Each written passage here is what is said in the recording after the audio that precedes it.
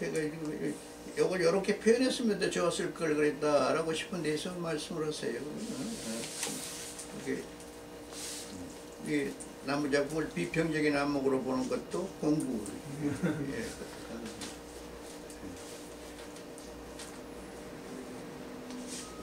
만약 부러워 말라 이렇게 직설보다 음, 높이 나는 새가 부러운가? 음? 음. 뭐 그래도 아니, 이렇게 부러우냐? 높이 나는 새가 높, 어, 높, 높이 나는 새가 부러운가? 아, 이렇게 예, 그래도 이렇게. 며칠 전에 제그 초등학교 동창 중에요. 잘된 친구, 속칭 아주 잘된 친구가 있어요. 서울 상대 나와가지고요.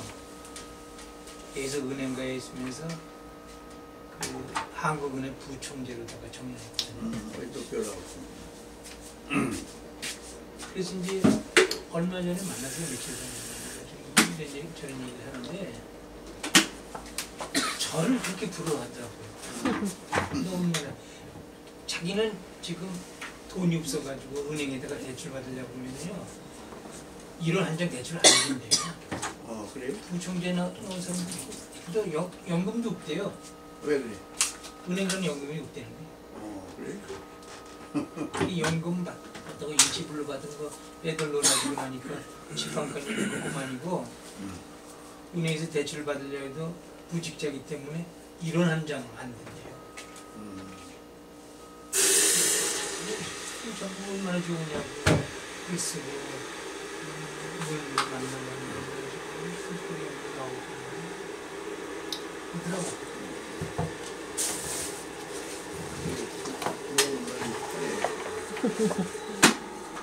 이건 하나의 아보리전 쪽으로 좋았지. 아, 그래?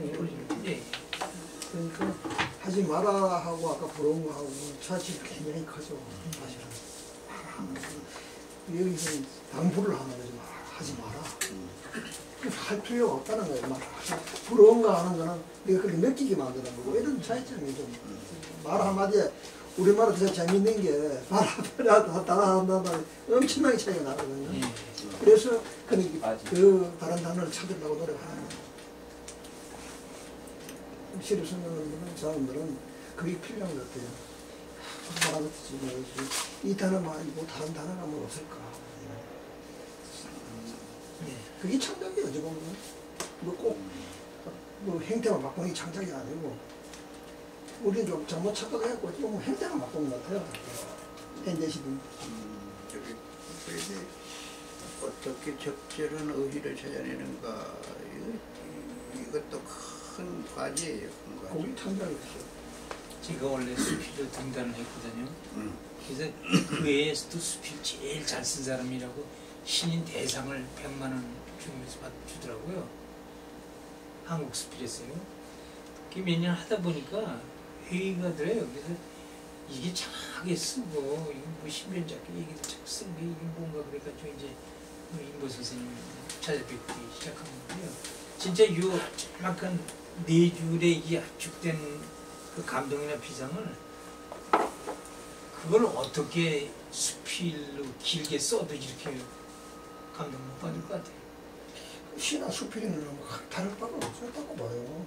저도 수필을 뭐 많이 썼고 수필도 등단했지만 수필 재미가 없어요. 시로 시에 마지막에 예. 짧은 거 완성도를 높이려 보면은 길게 쓰는 게 재미가 없다고. 그래서 이렇게 가장 짧으면서도 뭔가 팍 와닿는 이런 맛에 사는 거지 시를 쓰는 거죠. 음. 그래 뭐이 내용을 갖다 수필로 쓸 수도 있겠지만은 어, 짧, 짧게 쓰면은 오히려 더 어, 강렬한 느낌을 이제. 주겠죠.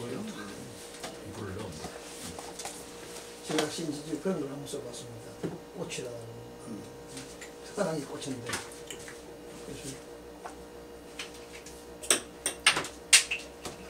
너만큼 아름다운 미래 잘 가꾸면 내게도 오지 않겠는가. 음, 식으 너처럼 아름다운 너만큼? 내만큼 아름다운 미래. 아름다운 미래. 잘 바꾸면 내게도 오지 않을까. 어, 나도 꽃이 내게도 오지. 않을까. 마치 가까라 이거지. 내가 가까 내가 그런 식으로 생각하는데 근데 그런 게 시가 재미있다는 게 아주 짧지만